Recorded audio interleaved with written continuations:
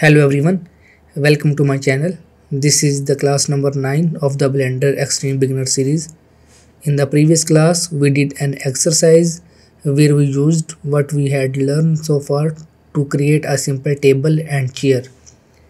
If anyone missed that class, they can go to the description and follow the link to watch that class. Up until now, everything we have done has been in object mode in today's class, we will explore edit mode and understand the difference between object mode and edit mode. First of all, let me explain to you about object mode and edit mode. Object mode is a mode in which we can manipulate entire objects as a whole. In this mode, you can move, rotate and scale objects as well as apply transformation and modify to them. It is the default mode when you first create or select an object in Blender and it allows you to work with objects as a higher level without directly editing their geometry.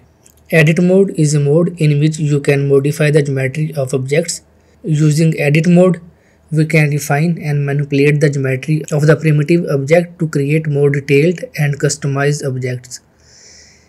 Here you are seeing object mode displayed if you click here beside this you will see other modes as well where on the second number you will find edit mode. You can click on it to enter edit mode. When you switch to edit mode you gain access to tools and functions for manipulating vertices, edges and faces of the selected objects. This allows you to make changes to the shape, size and structure of the object. Once you enter edit mode, you will find the toolbar displaying editing related tools. We will explore all of these options in detail one by one in the upcoming classes. Now I will explain what a vertex is. A vertex is a point where lines or edges meet. In Blender, vertices are the individual points that define the shape of a mesh object. They are essential for shaping and manipulating objects in 3D space. We can select multiple vertices by clicking and dragging to create a selection box around them. Additionally, we can hold down the shift key while selecting vertices to add them to the current selection one by one. In this way, we can select vertices and move them to change the shape of the object.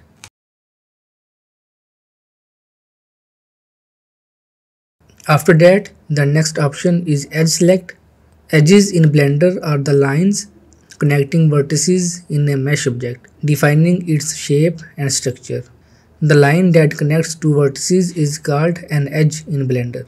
If we have the edge select option enabled, we can work with edges by selecting them and performing operations on them. We can hold down the shift key and click on multiple objects to select them.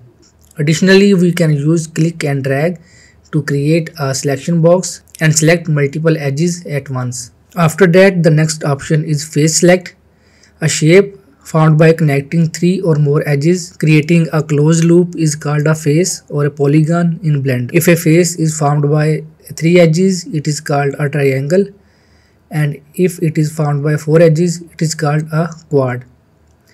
And if a face is formed by more than four edges or vertices, it is referred to as an n-gon. If the face select option is enabled, we can work with faces or polygons by selecting them and performing operations on them.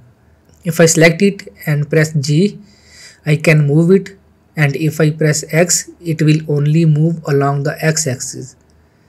In edit mode, our transformation and selection tools will work similarly to how they work in object mode.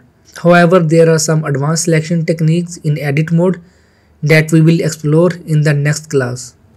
We will find it more efficient to use shortcut keys to switch between edit and object modes rather than clicking here repeatedly. To switch from object to edit mode or from edit to object mode, we use the tab key. In addition, we can enable select modes using shortcut keys Press 1 for vertex select mode, 2 for edge select mode and 3 for face or polygon select mode. Remember these keys 1, 2 and 3 are the keys located above the alphabetic keys, not on the numpad. I hope you have understood the difference between object and the edit mode. Now I will just give you an example by creating a table using edit mode. In the previous class, we designed a simple table and chair while staying in the object mode. But now I will show you how to create a table using edit mode with the sole purpose of increasing your knowledge of edit mode. I will enter in edit mode, select this polygon and move it on the z-axis to reduce its width. Then I will select this polygon and move it along the x-axis to match the desired size of the table. I will add an edge loop cut here and then I will use the offset edge loop cut to create two more loops and move them.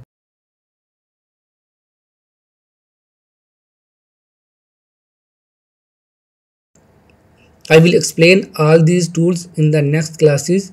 For now, don't worry about what I am doing. This is just an example. Now I will switch to the face select tool. Select these faces and extrude them to create table legs.